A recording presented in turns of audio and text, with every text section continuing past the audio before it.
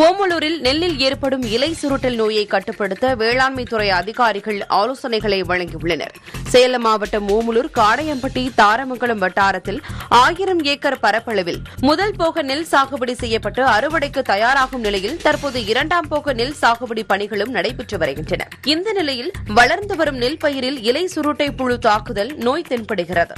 இதனை கட்டுப்படுத்த ஓமலூர் காடையம்பட்டி மற்றும் தாரமங்கலம் வட்டார வேளாண்மை உதவி இயக்குநர்கள் ஆலோசனைகளை வழங்கியுள்ளனர். இதை கட்டுப்படுத்த முப்பது கிராம் அக்ரிமைசின் இருநூறு கிராம் பைட்டுலான் ஆகியவற்றை இருநூறு லிட்டர் தண்ணீரில் கலந்து விசை தெளிப்பான் மூலமாக தெளிக்க வேண்டும். மேலும் வயல்வெளியில் புல் பூண்டுகளை அகற்ற வேண்டும். மாலை நேரங்களில் விளக்கு பொறிகள் இனக்கவர்ச்சி பொறிகள் பயன்படுத்தி பூச்சிகளை கண்காணித்து தாய் அந்து பூச்சிகளை கவர்ந்து அழிக்கலாம் என வேளாண்மைத்துறை அதிகாரிகள் தெரிவித்துள்ளனா் தேவைப்படும் பட்சத்தில் ரசாயன பூச்சிக்கொல்லிகளை பயன்படுத்தலாம் என்றும் நோய் தாக்கம் ஏற்பட்டுள்ள விவசாயிகள் அந்தந்த வட்டாரத்தில் உள்ள வேளாண்மை அலுவலகத்தை அணுகி நோயை கட்டுப்படுத்தும் மருந்துகள் குறித்த தகவலை பெற்று நோயை கட்டுப்படுத்தி கூடுதல் மகசூல் பெறலாம் என்று தெரிவித்துள்ளனா்